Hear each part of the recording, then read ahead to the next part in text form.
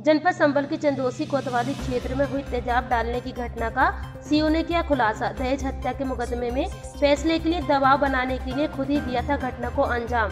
जनपद संबल के चंदोसी कोतवाली में तीन फरवरी को हयातनगर थाना क्षेत्र के मोहल्ला बारादरी में रहने वाले शाहिद ने एक तहरीर दी थी, जिसमें उसने दो सगे भाइयों, असलम और नफीस पर अपने ऊपर तेजाब डालने का आरोप लगाया था। कोतवाली प्रभारी धर्मपाल सिंह ने मामले को प्रथम दृश्यता संदिग्ध बताया था। जब मामले की गहराई से छानबीन की गई तो संज्ञान में आया कि शाहिद के छोटे भाई मुशाहिद की शादी असलम की बहन तबस्सुम से 2012 में हुई थी, परंतु दोनों के बीच अनबन रहने के कारण मुशाहिद ने तबस्सुम की तीन साल पहले पागबड़ा थाना क्षेत्र में हत्या कर दी थी, जिसका मुकदमा पागबड़ा थाने में दर्ज है, जो कि मुरादाबाद न्यायालय में विचाराधीन है। इसी मुकदमे में फैसले का दबाव बनाने के लिए शाहिद ने इस घटना को अंजाम दिया था।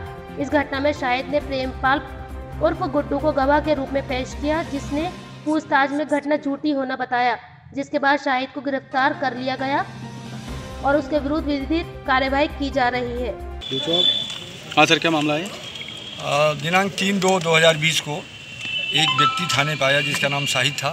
उसने आगे ये बताया कि मेरे ऊपर हयात नगर के असलम और नफीस ने मेरे ऊपर तेजाब डाल दिया है जिससे मैं जल गया हूँ और मेरे बच्चों पर छीटे पड़े हैं।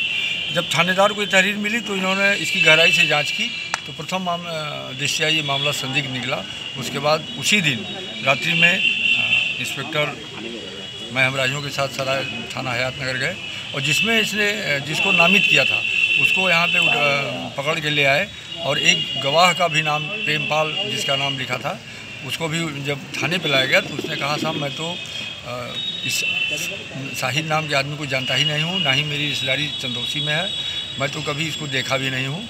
तो आज जब इससे कड़ाई से पूछताछ हुई तो एकदम टूट गया और इसने बता दिया कि हम पूर्व में अ, मेरे परिवार के साथ असलम से मुकदमा चल रहा था जिससे इसका एक भाई जेल में है और उन्हीं उसी भाई को छुड़वाने के लिए ये कई बार फैसले का दबाव भी बनाया लेकिन फैसला इसका नहीं हो पाया तो इसने ये कहानी अपने स्वयं रची है।